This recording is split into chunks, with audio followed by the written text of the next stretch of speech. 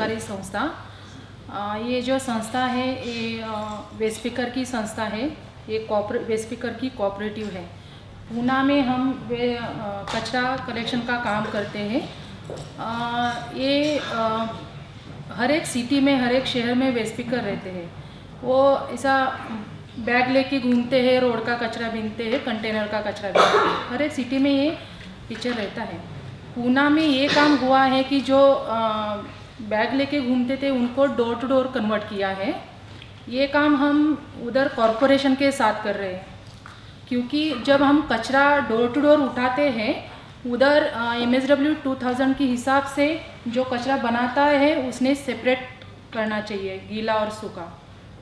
तो वैसा पूना में थोड़ा अवेयरनेस आया है पाँच साल के बाद। तो बहुत सारे लोग आ, मतलब ओवरऑल बोलेंगे तो forty thirty forty percent segregation हो रहा है। जब डोर टू डोर सेग्रीगेशन होता है तो हमारा वेस्ट पेपर वैसा ही अलग बकेट में लेके जाता है, सूखा और गीला। और सूखा कचरा फिर कानून के हिसाब से मतलब पीएमसी एक्ट बोल रही है कि 2000 के बाद जो सोसाइटी बनी है वो सोसाइटी में खत का कोई तो प्रकल्प होना माँगता है। फिर जिस सोसाइटी में खत का प्रकल्प है ओ है कंपोस्टिंग है तो गीला कचरा उधर जाता है। सूखा कचरा हमारी वेस्पिकर लेके जाती है। उसमें से वो सेग्रीगेट करती है रिसाइकलेबल और नॉन रिसाइकलेबल रिसाइकलेबल मटेरियल वो रिसाइकलिंग के लिए भेजती है। सेल एंड जो नॉन रिसाइकलेबल है वो uh, बहुत कम रहता है तो फिर एक फाइनली कॉरपोरेशन की ज़िम्मेदारी है वो उठाता है। फिर हम पूना में क्या कर रहे हैं कि कचरे का कॉरपोरेशन का लोड कम कर रहे हैं बहुत सारा। तो उसकी ये मॉडल की वजह से उनका बहुत सारा खर्चा बच रहा है। तो बोलो व्हीकल का खर्चा है मेंटेनेंस का है ड्राइवर का है तो हम बहुत करोड़ में खर्चा बचा रहे हैं। तो उनमें से कोई थोड़ा सा एडमिनिस्ट्रेटिव चार्जेस कॉरपोरेशन हमको दे रही है, उसमें से हम संस्था चला रहे हैं। 2008 में ये मॉडल शुरू हुआ और फाइव फाइव ईयर का ये मॉडल एम यू साइन हुआ था।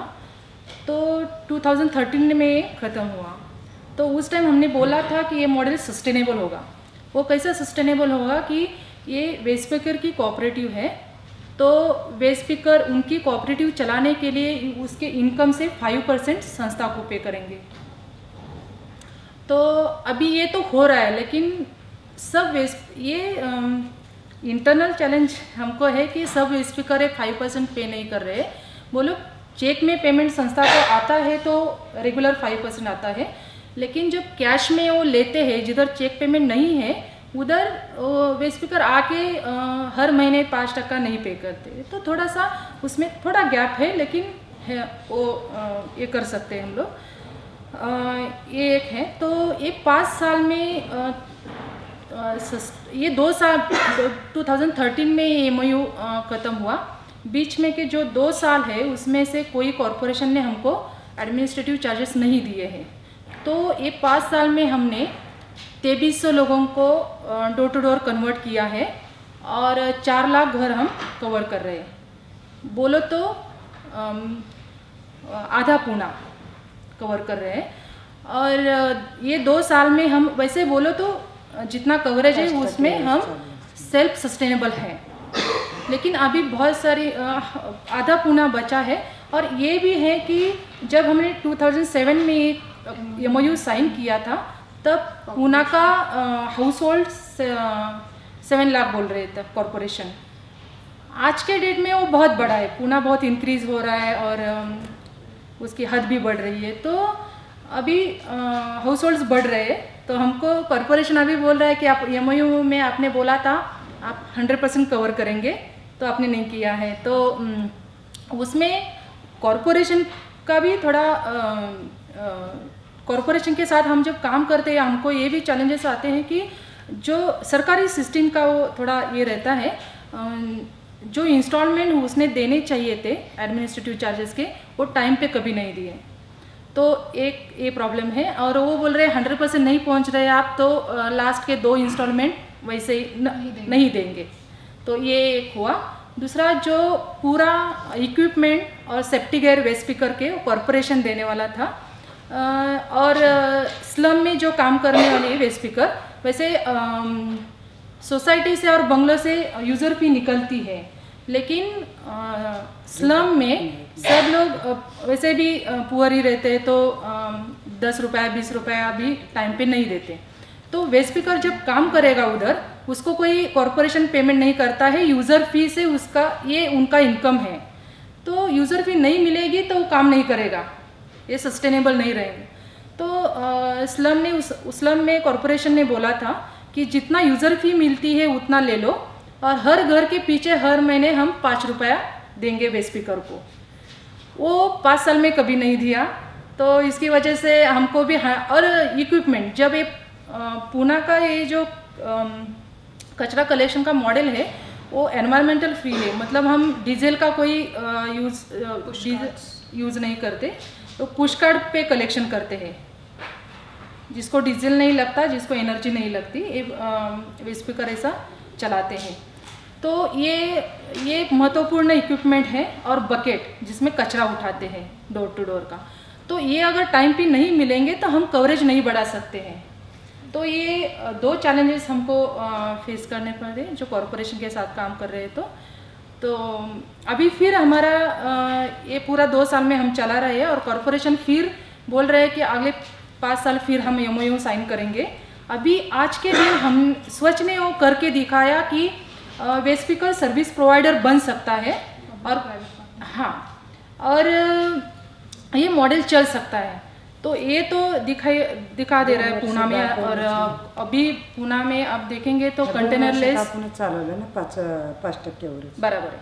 ये बोल रही है कि दो साल में हमने फाइव परसेंट पे चलाया है संस्था। और ये अभी कॉरपोरेशन की ज़रूरत है ये एम साइन होना। तो वो बोल रहे हैं कि अगले पाँच साल के लिए फिर एमओयू साइन करेंगे और फिर आप हंड्रेड परसेंट पूना में काम करेंगे। तो अभी चल रहा है जीबी में पास, पास हुआ है। अभी ये हमने थोड़ा रुकवाया है क्योंकि पिछले पाँच साल में वेलफेयर बेनिफिट्स स्पीकर को देने वाला था कॉरपोरेशन जो नहीं दिया है तो इसके लिए झगड़ रहे हैं हम लोग। हम बोल रहे हैं अगर आप स्लम का पैसा नहीं देंगे इक्विपमेंट टाइम पे नहीं देंगे वेलफेयर बेनिफिट्स नहीं देंगे तो वे स्पीकर का भी विश्वास नहीं रहता ये मॉडल पे। तो उसका विश्वास लाना है ये हंड्रेड परसेंट हमको पहुँचना है। तो जो भी बेनिफिट्स आप देने वाले थे थे, ये पहले, अभी वेलफेयर में कुछ योजना थी जो जो नहीं दिए तो उनका खर्चा करना पड़ा। बोलो तो ये पुश कार्ड है जिसका खर्चा मेंटेनेंस देने वाले थे, वो नहीं दिया है तो उस उसने तो खर्चा किया है तो उसको रियम्बर्स करेंगे। तो ऐसा ड्यूज हमने दिखाया है और कॉरपोरेशन ने वो फाइनली मान्य किया है और ये देने वाले हैं। फ़ाइल तो सेंक्शन हुई है। वो अगर वेस्पिक करके अकाउंट में वो पैसा जाएगा तभी हम एम साइन करेंगे। ऐसा बोल के रखा है और मतलब अभी दो एक दो महीने में साइन हो गए। फिर फिर वापस। sorry summarize the challenges. So one challenge payment on behalf of the communities in the slums where they are not able to pay for the services of the waste pickers the other challenges is the commercial areas of pune where all the big marketplaces are tulsi bagh and all where there are just big shops there they don't pay the waste pickers for the service that they get of the garbage collection. They just expect the collectors to sell off the dry waste and whatever they are selling off to make their money from that. So user fee component in the commercial areas is missing. So how do you influence the local cooperators to make the commercial people also, because they are earning a lot more, significantly more than households. That is one challenge and when MOU is made, keeping into account today, like today's population of Pune, today's geographical expanse of Pune, and then Pune bursts open in the next two, three years. There's, it's very hard to predict how much it will grow and how it will grow. So the costing structure goes for a toss. So how do you look at these three things as the key challenges that we sort of got on the canvas? Can we open it up to questions? door to door program चला रही है तो वहाँ का ऐसा system है कि जो वेस्ट पिकर होता है उसको ऐसा कंपल्सरी है कि उसको टू फोर्टी हाउस होल्ड का कचरा ही लेना है तो वैसा वहाँ पर कोई डोर टू डोर स्कीम में चल रहा है और सेकंड मुझे ये पूछना था कि अहमदाबाद में ऐसा है कि एक घर का दस रुपया कॉरपोरेशन देती है जिसमें से सात रुपया वो वेस्ट पिकर को मिलता है और तीन रुपया मेंटेनेंस के लिए सीबीओ को देते हैं। तो ऐसा कोई सिस्टम वहाँ पर है क्या? हाँ ये ऐसी सिस्टम पूना में ये पहला क्वेश्चन जो आपका है तो ये है कि हम three hundred three hundred fifty hold का एक पॉकेट बनाते हैं। उसमें दो वे स्पीकर काम करेंगे और दो दो वे, वे स्पीकर के लिए एक पुश कार्ड और चार बकेट मिलेगी। ऐसा ये है और सेकंड जो है तो ऐसा आप जो बोले ये कॉस्ट कॉरपोरेशन नहीं दे रहा है क्योंकि आगे चल के ये मॉडल सेल्फ सस्टेनेबल हो, होना चाहिए। और कॉरपोरेशन का हम जो बो, बोल रहे हैं कि एडमिनिस्ट्रेटिव चार्जेस कॉरपोरेशन हमको क्यों देंगे? तो हम उनका बहुत सारा खर्चा कम कर रहे हैं है ना? ये यूज़र फ़ी मॉडल है। ये जो काम करती है, वो सर्विस देता है सिटीज़न को तो सिटीज़न पे करेगा। तो कॉरपोरेशन का जो अगला डिका अलग डिपार्टमेंट उसको अगर ये देना है तो ये अकाउंट लगेगा, ये लगेगा। फिर वो जो खर्चा है, वो भी कम हो जाता है। और बाकी भी खर्चा कम हो जाता है तो इसीलिए वो पाँच साल के लिए एडमिनिस्ट्रेटिव चार्जेस देगा। ऐसा पैसा नहीं देगा डायरेक्टली काफ़ी बड़ा मुश्किल काम है तो उस पर नहीं पूछेंगे। But on the other side जो आप कंज्यूमर्स के साथ काम कर रहे हो और वेस्ट स्पीकर्स के साथ काम कर रहे हो तो एक तो कंज्यूमर्स को यूज़र फ़ी देना पड़ता है। उसमें आपको कोई चैलेंजेस आते हैं और उसको कैसे सुलझाते हैं? और जो वेस्ट स्पीकर्स हैं, उनको आप कैसे कन्विंस करते हैं आपके साथ काम करने के लिए? और जो वो पहले काम कर रहे थे इधर उधर घूमते थे, उससे एक सर्विस प्रोविज़न अप्रोच जो है और सेट घरों में रेगुलरली जाके कलेक्ट करना है उस पर आप क्या काम कर ये एक्चुअली ये अ, काम हमने पिछले सा, पाँच साल में किया है। अम, हमारे जो स्टेक होल्डर्स हैं जो सिटीज़न पहला दूसरा कॉरपोरेशन तीसरा कॉरपोरेटर और चौथा जो है हमारे वे स्पीकर तो ये चार ही लो चार ही लोगों के साथ हमको काम करना पड़ा है शुरू में। कॉरपोरेटर को जाके हर महीने में एक मीटिंग लेते थे उनको समझाते थे हमारा वे picker door to door daily आएगा कचरा ठीक से उठाएगा। फिर उनकी भी परमिशन लगती है क्योंकि वो उनका एरिया रहता है। और कॉरपोरेशन को हमने पायलट स्टडी में करके दिखाया है कि ये कचरा अ, वे, वे स्पीकर ये सर्विस प्रोवाइडर बन सकता है। तो पायलट करने के बाद कॉरपोरेशन ने ये काम दिया स्वच्छ को। और इसके बाद हमने कॉर- वे स्पीकर के साथ ट्रेनिंग लिए कैसा हर रोज क्यों जाना चाहिए हाँ जैसे वो बीनते थे कचरा के के पी में तो ये कभी, जब उनको लगता था सुबह जाएँगे, शाम जाएँगे कभी भी दोपहर जाएँगे, कभी भी जा सकते हैं, और जितना ता लगेगा, उतना ही कचरा उठा, उठाते थे। ये स्वच्छ मॉडल में ऐसा नहीं चलेगा, टाइम पे जाना पड़ेगा, ये सब उनको ट्रेनिंग में हमने सिखाया है। फिर कैसा रहना चाहिए? वो सुबह कचरा बीनने के लिए जाते थे ऐसे उठ के जाते थे कुछ अच्छी साड़ी नहीं पहनते थे बाल नहीं करते थे ऐसे जाते थे। तो उनको ये भी समझाना पड़ा कि हम अगर डोर टू डोर जा रहे हैं तो थोड़ा ठीक ठाक जाना माँगता है। तभी हमको ये काम मिलेगा तभी हमारे साथ नागरिक ठीक तरह से बर्ताव करेंगे। व्यवस्थित बोलायचं. हाँ। व्यवस्थित बोलणं त्यांच्याशी नागरिकाशी हाँ और ये बोल रही है कि वो, सिटीजन के साथ अच्छे तरह से हमने बात करनी चाहिए। से और अभी भी नागरिक हमको कंप्लेंट करते हैं हेल्पलाइन पे। आपकी वे स्पीकर बहुत आरोगेंट बात कर रही है हमारे साथ। ऐसा थोड़े बहुत कंप्लेंट आता है, लेकिन वो भी हमने ट्रेनिंग में सिखाया है कैसी बात करनी है, ज़्यादा आवाज़ करके नहीं बोलना चाहिए। ये हम झगड़ा नहीं करना चाहिए सिटीजन के। अगर यूज़र फ़ी नहीं मिलती, अभी भी स्लम में जब हम काम करते हैं, दस में से दो घर पैसा नहीं देगा। तो फिर ये काम कर रही है, पैसा नहीं मिल रहा है तो थोड़ा झगड़ा होने के चांसेस बहुत ज़्यादा है। लेकिन हम ये भी बताते हैं, ये धीरे धीरे हो जाएगा। आप झगड़ा मत कीजिएगा। तो ये पाँच साल में बहुत सारे ट्रेनिंग्स लिए हैं और ये बदलाव फाइनली पाँच साल के बाद अच्छी तरह से आया है।